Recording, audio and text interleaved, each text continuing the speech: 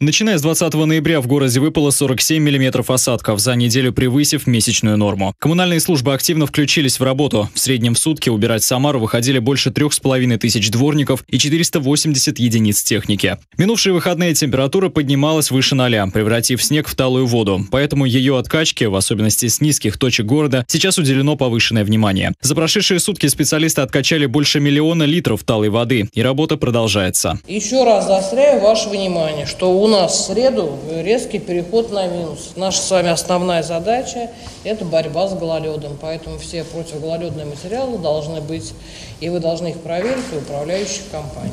Муниципальный центр управления Самары совместно с Центром управления регионом круглосуточно мониторит комментарии горожан, которые они оставляют в социальных сетях. В обращениях жители отмечают отдельные улицы, на которых возникло большое скопление воды вследствие активного таяния снега. Вопросы горожане задают по поводу улиц Ставропольская, 22-го партсъезда, Осетинская, Советской армии, Зубчининовское шоссе, Литвинова и Макаренко. Елена Лапушкина поручила главам районов и руководителям профильных департаментов оперативно принять меры и улучшить ситуацию на указанных адресах и в будущем внимательно отрабатывать поступающие от самарцев сообщения. Коллеги, сегодня, э, ну, край до 16.00, на все замечания, на все обращения нужно ответить.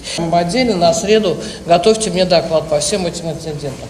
Обсудили во время совещания и подготовку Самары к Новому году. Праздничную атмосферу в этом году будут создавать больше двух тысяч разных композиций. Это и гирлянды, и фигуры, и знаменитые светодиодные фонтаны, которые установят как на площади Славы, так и на разных территориях внутригородских районов. Праздничные огни загорятся на набережной, а площади, парки, скверы и другие знаковые места города украсят незаменимый атрибут новогоднего торжества – красавица елка. Такая, например, появится в парке Молодежный, неподалеку от озера. Сейчас готовность всей иллюминации больше 60%. Специалисты планируют полностью закончить украшать город к 20 декабря. Обращаю внимание, по нашим площадкам, которые мы делали в рамках комфортной городской среды, это и парки, и скверы и так далее, там тоже должны быть украшения.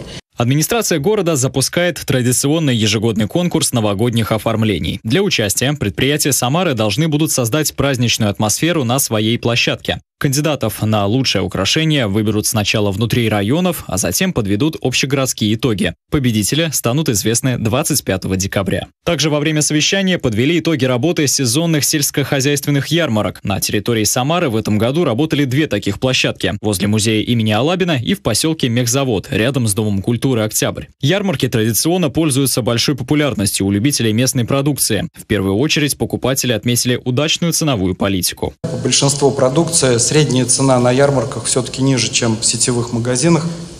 В целом на потребительском рынке городского округа Самар продукты питания представлены в широком ассортименте, ценовом диапазоне, что позволяет удовлетворить потребность всех категорий граждан дефицита товаров как в сетевых магазинах, так и на ярмарках не наблюдалось. В этом году резидентами осенней ярмарки стали и партнеры из других регионов. У самарцев была возможность приобрести товары из республики Марий-Эл, Пензенской, Оренбургской и Ульяновской областей. Продукции стало больше, сыграла на руку и погода. Одна площадка проработала на три недели дольше обычного. Благодаря этому павильон рядом с музеем Алабина посетили 140 тысяч покупателей, на 30 тысяч больше, чем в прошлом году. Михаил Ермоленко, Николай Епифанов. События.